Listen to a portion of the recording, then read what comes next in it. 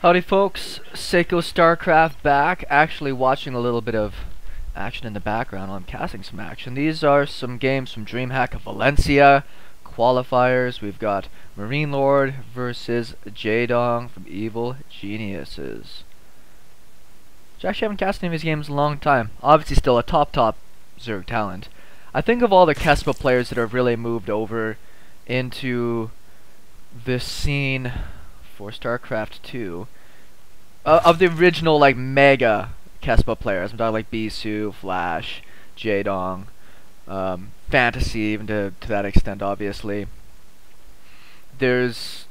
I, I think he's been one of the more active players internationally. I think that's just one of the benefits the Evil Geniuses give him is the opportunity to go play more tournaments all over the place as opposed to a lot of the Kespa players still with Kespa teams and therefore are still playing mostly just in Korea. Also why I haven't seen a ton of Flash, even though he's obviously still a monster. Don't get that opportunity to cast a lot of his games, because he's not going around playing a lot of the international tournaments. So we'll see how Mr. Jaedong does here, playing against the Terran. Favorite matchup of all time. Just casted a few of my own replays here the other day. Playing as a Terran against Zerg and a Zerg against Terran. Just something quintessential about that matchup. Having some cocoa. As it's a cool Sunday morning and I don't really need to well actually that's not the truth. I probably could make coffee. I just don't have any convenient coffee to make. So therefore I've got this really convenient hot chocolate to be working with. We have actually a very economic opening here out of Jaedong hasn't even started his pool yet. He's on 16 I thought maybe for a second he might go for the the three hatch opening which had been super cool I don't know if you'd expect it to really hold that. This Overlord will get in here enough time to be able to see this. Scout, the expansion's happening, and this Overlord's going to take a backwards path down to this side, so it can run through a little bit later and see what's going on.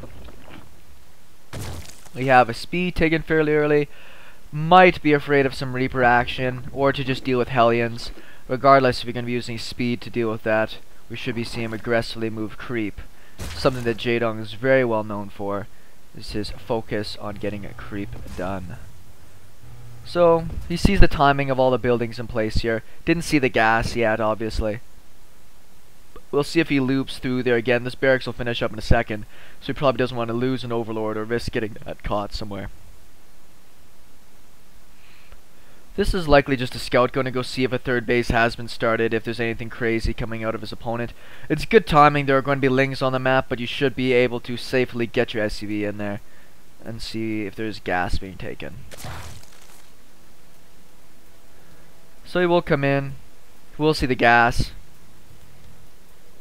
You'll see that 100 has been taken from it, so speed is likely on the way. These guys should be able to get this SCV down now that there's two of them there. I'm back on this side. Just a good, stay safe standard opening. Gonna have his bunker at the front. Went into factory. Nothing out of the ordinary, no second gas. Wouldn't have surprised me to see maybe some sort of Banshee action, but these games aren't brand new, so this might have been before the patch came out. We'll see if the Terran wants to use a lot of Hellbats without Blue Flame. That should give us a good indication what stage of the game we're at. Looks like he's ready to start doing his creep here pretty soon. I know it's going to be very important. He's already got another queen on the way, so moving up to three. Pretty good timing. He's on his injects. And he's got good vision of what's going on around the map.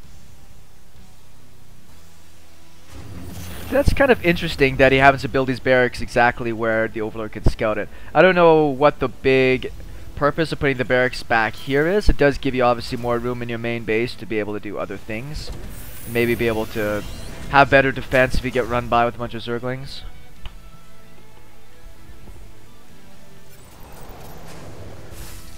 Mm -hmm. We have a Roach Warren and more gas coming down here. These might just be defensive roaches, but now that he has this third hatchery on the way, he might actually try to go for some sort of bust. It's the risk you take as a Terran player if you focus too much on Hellions and Hellbats. then you can have some roaches just come in and essentially walk over you. The only thing that really exists in play right now for MarineLorD as defense is two Marines and two Hellions. We actually have a pretty big extra pile of supply here spilt out from Jaedong, along with some minerals and some uh, gas saved up. Figured maybe he'd be going for some big pile of roaches. He is moving his creep pretty far. Though he does need to get some stuff down here to his third base. Six roaches. Should be enough to drive away any type of Hellion harassment. We'll see if these guys want to run by. I don't think he's going to want to risk them. It's better to keep those Hellions alive for map control and vision. It's easy to lose them if you try to run by. That'd be kind of an awkward sight as a queen, just see a bunch of dune buggies run by with flamethrowers.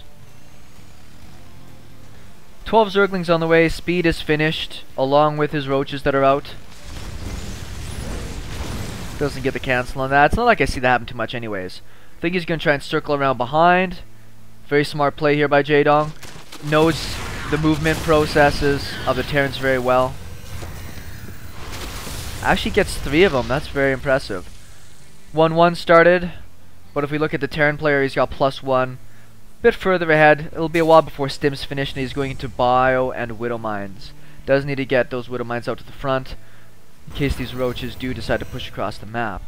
I don't think Jaedong's too worried now that he took out those Hellions. Move up to Lair Tech, drone up nice and heavy, get himself in the great macro position, and will probably be feeling just fine to sit back for a while. Kind of a jerk move. Lings are scouting for third. Nothing happening on that side. I don't think we even have a third command center started yet. So we're likely going to see a push out from the Terran player once he has enough Widow Mines and maybe two or four. There's his command center, two or four medivacs to support his troops.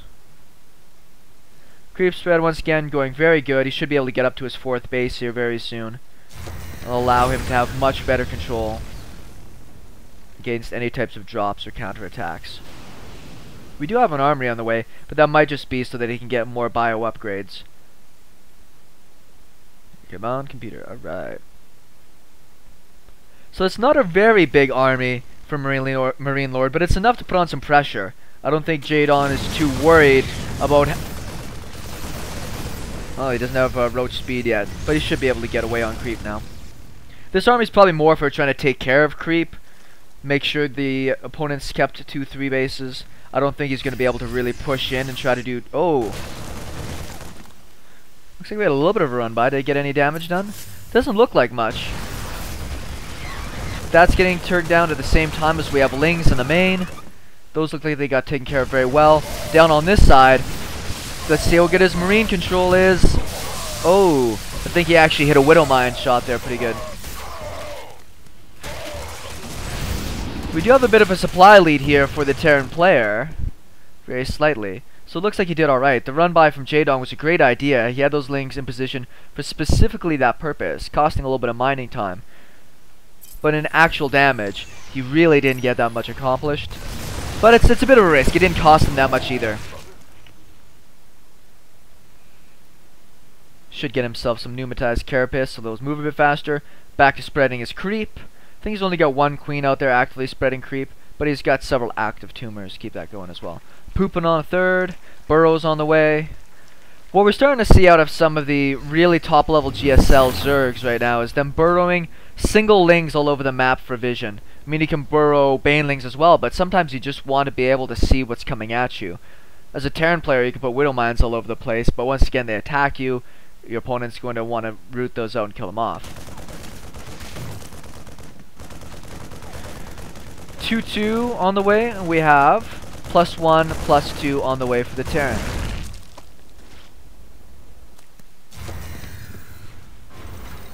Still not a big army out of Jaedong here, more focused on getting out all of his upgrades. Just a big swath of upgrades. Baneling speed, there's his pneumatized carapace. That's going to give his overseers a bit more speed to help out with widow mines. Something that I even got to work on more of is getting more and more overseers in my Zerg army. It looks as though Jaedong wants to do counterattacks. But I don't think his opponent is going to bite. Got pretty lucky there. If there was a Widow Mine in place, he would have lost a lot in that attack. He's probably going to have to come back home and try to surround this. But he might come back right through where the Widow Mines are. What's this little banner? Yeah. Fourth base is going to get cancelled. Those Widow Mines actually did quite a bit of damage to the Terran units here. Still focusing down. The hatch does get it, was not cancelled. This is still a pretty strong Terran army with the medivacs overhead. Yeah, I don't think Jaedong's going to be able to mess with that very well. Doesn't have any Banelings in place. He's got a bunch of Zerglings there. There was the Baneling hits.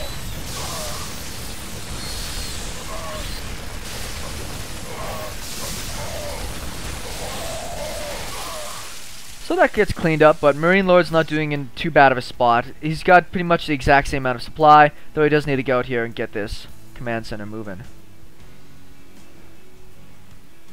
Infestation pit on the way. That might just be so he can get up to Hive Tech and start focusing on, on getting his Ultralisks out. It would be nice if he had something to try to deal with the Medivacs, though we don't see a gross amount of Medivacs yet from our Terran player like seeing games with somebody like Flash plays, you'll have 10, 12 medivacs as part of his army and just crush through people's stuff. He'll just crush through storms and crush through so many things because he got so much repair. Let's see if he does any Widow Mines, not Widow Mine, any Baneling bombs around the map. Does have the burrow in place, and his opponent has not been scouting ahead of his advance. Be a bit of a cheeky play, but it might work out.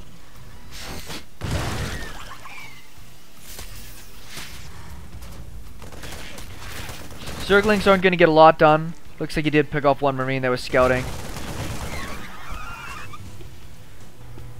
Kind of a stalemate right now. The Terran doesn't really have tanks or anything that if he was going to sit back on I think would be better.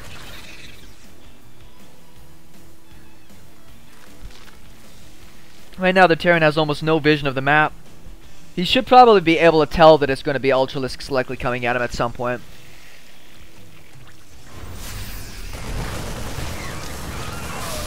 Oh, shoot. That's not how you split Marines. Run around on the other side with the roaches.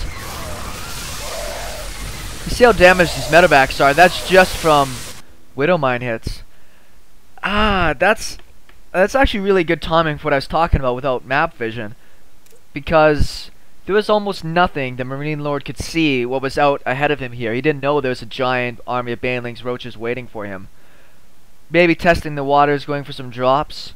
I don't think he was in a position to really move out without having that kind of vision in place.